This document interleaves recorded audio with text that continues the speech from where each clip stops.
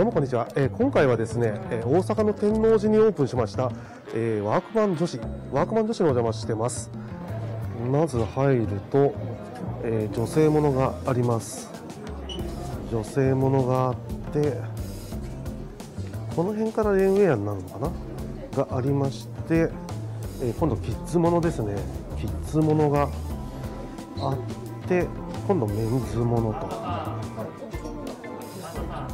そしてゴルフ系とかアウトドア系がこの辺ですね。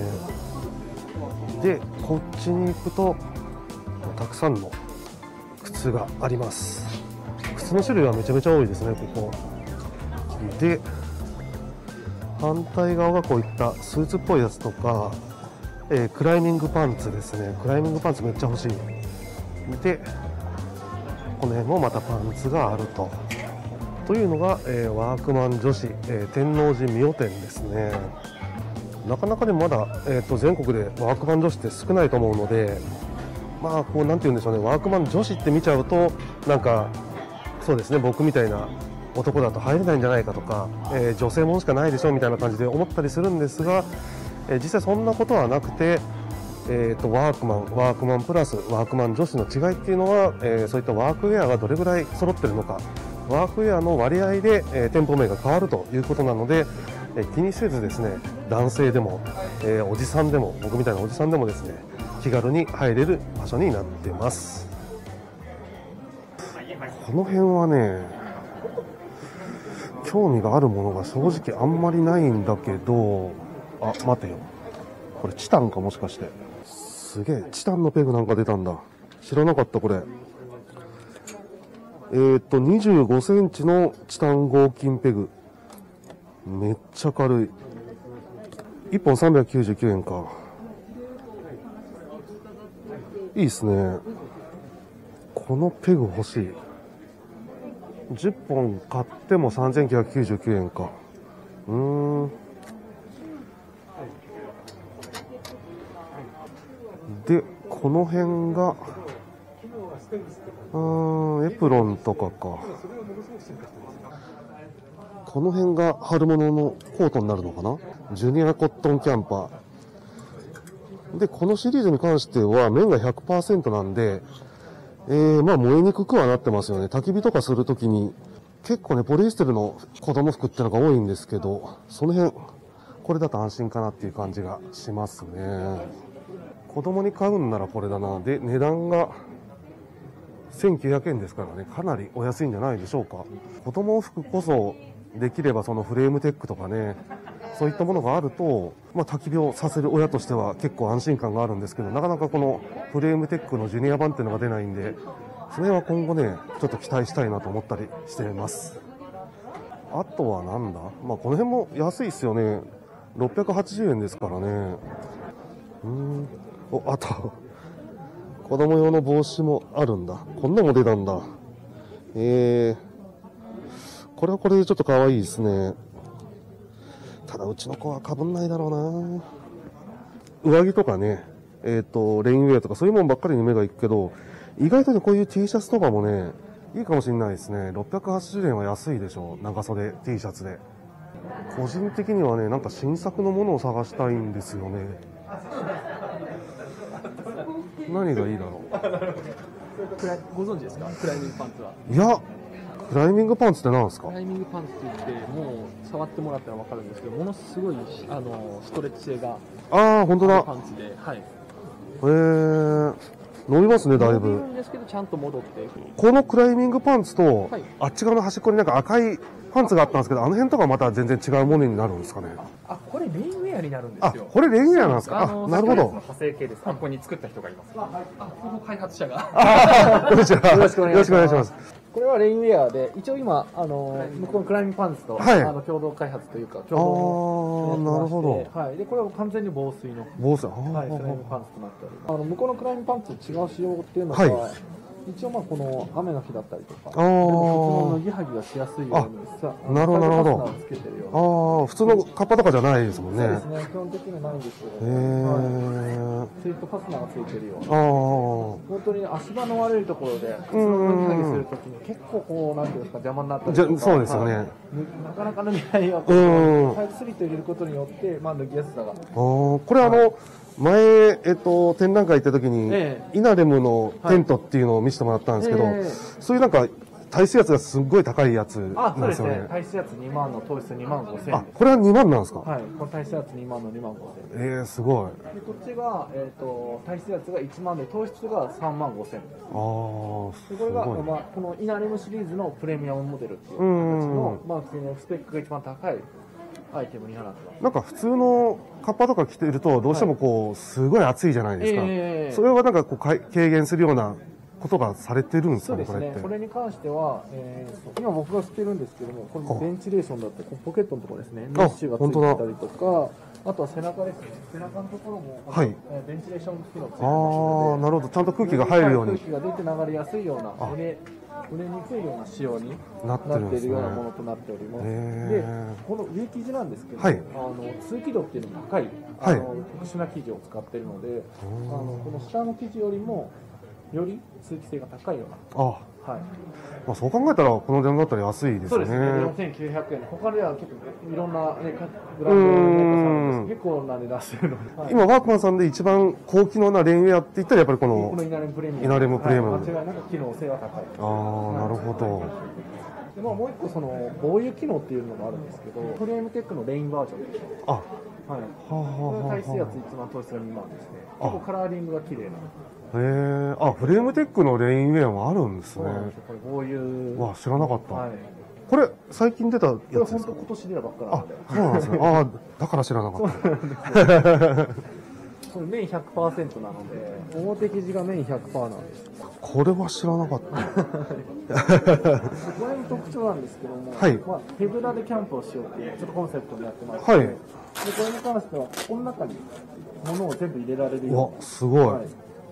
ええあ、これ、しかも入るとこ多分、こ、ここまであるんですか、はい。もしかして。こ。こまで。が全部あるんですよねすごいですね。えまあ、来た状態でも物が取り出しやすいように最後あはい、えなるほど。こういった形でこう、後ろに手を回せばはい。取れるような、はい、仕様になっええこんなのあるんだ。はい、で、まあ、なんですか、こう、これですね、先ほどもおっしゃあ言わせていただいたんですけど、これね、ああなるほどはい。。通気性が高くなってると通気性が高。くなるような仕様にもなってるっていうところで、へー一役買ってるようあ、なアイテムとなるほど。これは前からあるやつですよね。商品じゃなくて、もう累計で100万本を超えてるあー製品なんで、さらに機能を高めたはい製品っていうのがこちらです。結構、外に出かけられてると、はい急な雨っていうのがどうしてもこの夏になったりとか、そうですよね。エリアが増えてきますので、その時でもこの濡れないというか、うんはいちゃんと雨を弾いてあー弾いてくれるっていうところですごく人気がうん。なるほど。ああ、今までこういうショートパンツに変わるようなものってありましたっけ？あえっ、と数は多くはなかったんですけど、もう本当にあのこれだけ有名な商品でハーフパンツに変わるっていうのはなかったです。ああ、もなるほど。ええう本当にかがんでもしんどくない、うーんストレスフリーのパンツになってますね。う。ああ、で、ファスナーもこんな感じなんだ。そうです。はい、開けやすくて、あと水も侵入しにくい。しにくいやつですよね。まあ、あまり目立たないんですけど、はい。あのパッと見たときにこのリフレクトがついてたりとか、あー。の光を反射させるやつですね。なるほど。ついていたりとか、蒸れないように、まあ、ちょっといろんなところでメッシュ素材を使ったりして、そのズボン全体、パンツ全体であの熱を逃がしますっていう。なるほど。今までワークマンのデニムって、はい。あのまあ、レギュラーシルエットのやつが基本的なシルエットだったんですよ、うんうん。例えばちょっと細めタイプのシルエットああ、なるほど。はい。で今シーズンは初めてこのワイドシルエットっていうあちょっとダボっとあ。したタイプのデニムのパンツを作りましたワイドフィットこの辺が全然違いますね。そうワイドパンツはこの3色展開ちょっと薄いデニムの色と、そうですねこれはなんつうんだっこれはさイエローでけイエロー。はい、とあとサンドでこのブルーのカラーだけ特別仕様で、はい。バナナ。はい、これバナナのはい茎、はい廃棄されるバナナの茎を再生利用して、はい。あの素材の一つとして生産作ってる。あ、そうなんですか。はい。え、じゃあ麺とかじゃなくて、そう、麺と、あとバナナの茎から作った茎植物繊維っていうのを一緒に織り込んでて、で、まあ、はサステナブルな製品ですよっていう売り方をしてる。なるほど。他の製品は、はいあのそれ以外のその麺で、麺で作ってるカラーのデニム。素材としては、だから、えっと、麺が65%、あ、こ麺れはが95 95%になるんですか？植。物繊維が5%入ってる。あ、じゃあもう完璧に、その、えっと、自然繊維でできてるというか。そうですね。で、こっち側になると、ちょっと変わってくるんですね。そうですね。まあ、麺と、あとあの、ストレッチを出すためにこれあー入ってるんですけど、なるほど。ただ、こちらの麺も、その、麺化を作るときに、うんその環境に配慮した生産、栽培方法をとってる、あ、なるほど。地球に優しい麺を使わせる。ああ、なるほど。その辺までこだわられてるんですね。チノパンも安いな1900円。いいですね。これまた、このオレンジの色もなんかアウトドア的にもね、ちょっと合いそうな感じで、いいですね。まあ、ポケットもたくさんついてて、うーん。ああ、あ。こんなんがあるんだ。はいへえ。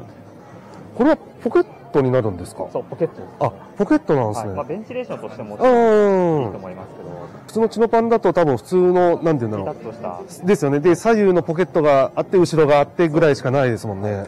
あ、これは知らなかった。そう、それ以外に、まあ、そのここにスマホが入るくらいの左右にあ、本当だ。こうついうのが結構あの、男性としては地味に便利なんですよね。うん。ちょっと靴行ってみようかな。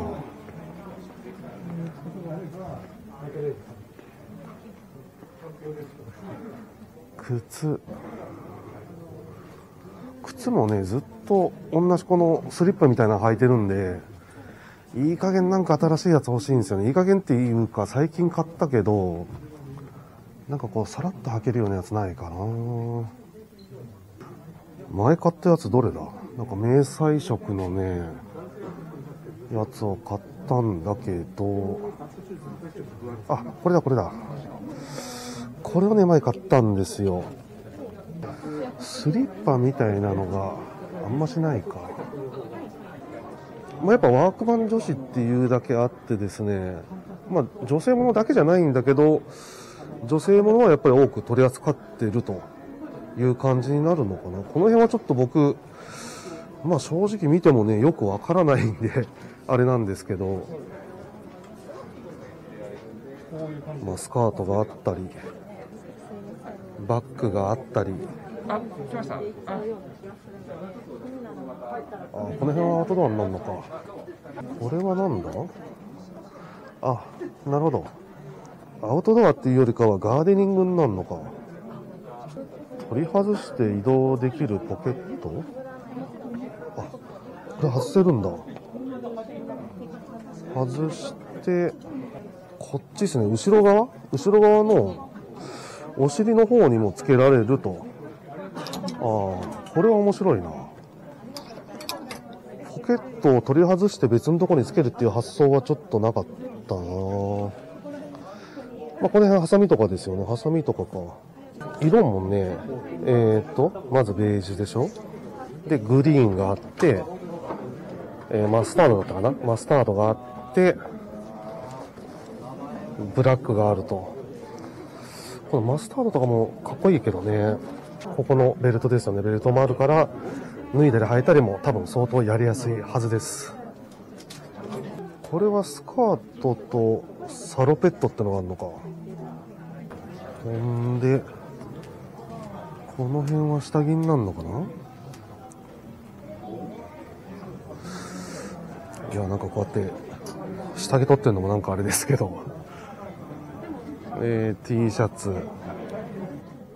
んで、この辺はあれですよね、えーっと、赤外線をカットするラッシュガードっていうんだっけ？ラッシュガードみたいなやつも売ってますと。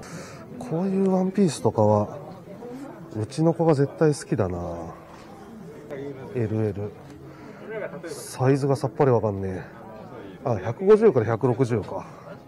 うちのね、一番長女がこういうの大好きなんですよ。こういう楽なやつ。楽なやつ好きだから、こういうの買ってあげたら喜びそう。ちょっとまだ寒いですけどね。水陸両用撥水パッカブルショートパンツ。うーん。そのうちなんか本当に水着とかもやりそうっすね、ワークマンは。それはそれ楽しみだけど。うん、こういうね、T シャツも980円か。安いなもはやもうユニクロ高くなりましたからね。なんか、最近ユニクロで買い物もしてないですけど、なんか普通の衣料品もワークマンで買ってもいいような気がする。この辺も、撥水ができるやつか。うん、ちょっとお出かけするとき用ぐらいな感じですかね。で、えーポケッタブル仕様なので、カバンに常備できる。畳めるんですよね。畳んでこうなんか、かなりちっちゃくできるやつだと思う、これ。例えばその自転車乗ったりとか、えー子供とちょっと公園で遊びに行くとか、っていう時のちょっとした普段着とすりゃ1900円。しかも撥水機能付き。いいんじゃないですか、これ。このライムグリーンが、ライムイエローか。ライムイエローが好きかなでもやっぱこの辺気になるなそんな雨の日にね、何かするってわけじゃないけど、ただ、えっと、外で作業するときとかも、えーカパ買ったりとかすると思うんですけど、耐久性で考えたらね、全然こっちの方が上なはずなんで、耐久性というか耐水圧か。えー普通カパ買うとね、あそうだな、5回、5回ぐらいまではいけるかもしれないけど、10回も使うと絶対ね、びしゃびしゃになるんですよ、結局。で、中まで濡れてくるっていうことが必ず起きるんですけども、これは大丈夫そうだよな。大丈夫そうだし、あと、あの、ベンチレーターですよね。ベンチレーターが、普通のカッパってあるようでほぼないですからね。あったとしてもその機能的に役に立たないっていうものが多くて、で、カッパ着てるからめっちゃ暑いっていう経験をね、何度もしてるんで、これはちょっと確かめてみたいとこではあるな。このボタンを外してみると、ここは単純にシルエットの調節みたいで、まあ、ダボっとしたのを調節するみたいな感じですかね。ファスナーはここにあると。これ、多分あれですね、水が入ってこない加工がされてるファスナーですね。うん。で、なんか作業するときとかもこの赤っつうのがね、結構目立ちやすくて、いいんじゃないかなと思いますね。あの、雨が降ってる日ってのは視界が絶対悪いんで、そうですね、暗い色を買うよりかは、こういう真っ赤っていうのはね、いいんじゃないかなあと、これが買いたいんだよな、この、えっ、と、ジョイントサコッシュ。今、あの、前回いただいた、えー、リュックを背負ってますけども、それに確か取り付けられるはずなんで、ああ、こういうの欲しい。このね、ジョイントサコッシュだと、えっ、と、値段が1500円、約2リットルってなってます。これ単体でね、あれですよ、バッグみたいな使い方もできるみたいなんだけど、僕ね、ちょっとね、出かけるときにカメラとか持ってくんですよね、やっぱり。で、カメラとか持って行ったときに、でっかいバッグ持ってくのは何かな、みたいなことが結構あるんで、これは欲しい。うちの近所のワークマンにこういうの売ってんのかな？えーまず真空ハイブリッドコンテナ。えーこれはクーラーボックス的なやつですよね。で、えーアイスカップホルダーか。アイスカップホルダーがあって、え500ミリのペットボトルホルダーがあると。で、えテーブルですよね。テーブル類があって、椅子とタープ。ワークマンのタープはちょっと使ったことないですが、うん、どうなんだろうな。で、えっ、とね、テントもあります。テントは一人用のやつが2種類と、あとワンポールテントですね。これ、えっ、と、4人用、耐久撥水ワンポールシェルター4人用17,800円というものがあります。で、シュラフはね、こういった簡単な、あの、ちょっと薄めのやつですよね。それもあれば、えーフュージョンダウンシュラフ。で、アルミ、えーフュージョンダウンシュラフか。で、このアルミフュージョンダウンシュラフっていうのは、これかな？これなんですけど、まあちっちゃいですよね。ちっちゃくなるんだけど、えっ、と、アルミフュージョンダウンっていうのが、あの、冬の衣料品でよくあるやつですよね。だから多分相当暖かいんじゃないかなと思います。これ9800円だったらね、買いじゃないかな。で、この辺が小物ですよね。小物に関しては、スタンペグはちょっと欲しいなと思いますけども、それと、あと、えー新作発表会で見た、これですね。これ多分新作じゃないと思うんですけど、えーカリンバケースになりそうなやつ。とかがあって、あ、あとこれも紹介してなかったと思うんですけども、えっと、包丁とまな板のセットですよね。これも1900円か。1900円、ちょっと自分で色塗ったりするのもありっぽいですが、うん、これも安いんじゃないかな、1900円。